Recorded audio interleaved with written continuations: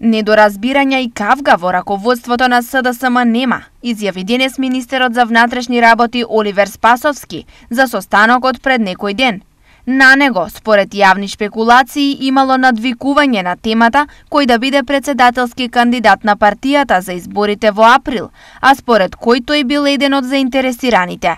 Не може да стане за никаков конфликт за прашање, како што се председателските избори, заради тоа што не се отвори тоа прашање и не се разговара во партијата се уште. Кој ќе дојде моментот ќе разговараме и низ диалог ќе се утврди тоа што е најдобро. За нас што е важно?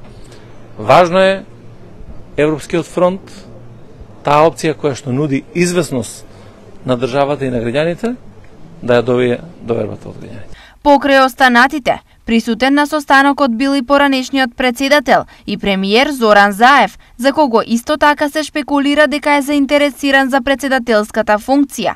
Каков приденес би имал Заев во партиските активности?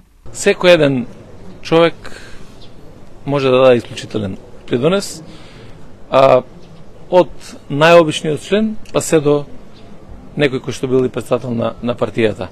А, секако дека Обединетоста, сплотеноста околу одредена идеја, а тоа не врзува во политичките партии, е најважна за, за успех. Така да, секој еден е добре дојден во целиот Европски фронт за, за напредок на државата.